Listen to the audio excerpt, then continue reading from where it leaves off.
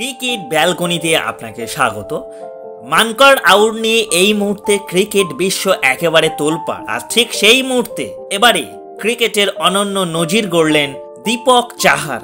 তিনি মানকার আউট না করে ক্রিকেট বিশ্বের প্রশংসা কুড়াচ্ছেন এই মুহূর্তে।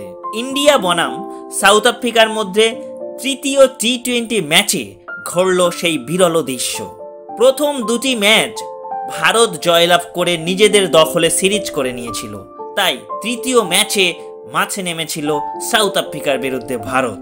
আর এই ম্যাচেই পনেরো ওভারে প্রথমে ব্যাট করে সাউথ আফ্রিকা একশো চুয়ান্ন রান তুলে নেয় দু উইকেটের বিনিময়ে, যেখানে কুইন্টন ডিকক এবং রোশো দুর্দান্ত পার্টনারশিপে বড় রানের লক্ষ্যে পৌঁছাচ্ছিল সাউথ আফ্রিকা।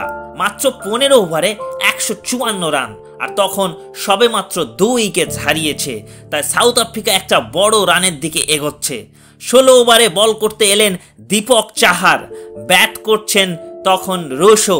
আর নন স্ট্রাইক প্রান্তে দাঁড়িয়ে রয়েছে টিস্টান স্টাফস বল করার সাথে সাথেই তিনি নন স্ট্রাইক ক্রেট ছেড়ে বেরিয়ে যান। আর সঙ্গে সঙ্গেই দীপক চাহার মানকার আউট করতে গিয়েও করলেন না। তিনি জানিয়ে দিলেন যে এটি আমি আউট করতে পারতাম। সেই দৃশ্য সঙ্গে সঙ্গে দেখে ব্যাটসম্যান হতবাক যে আমি এই মুহূর্তেই আউট হয়ে যাচ্ছিলাম আর দীপক চাহার আমাকে বাঁচিয়ে দিলেন মানকার আউট না করে।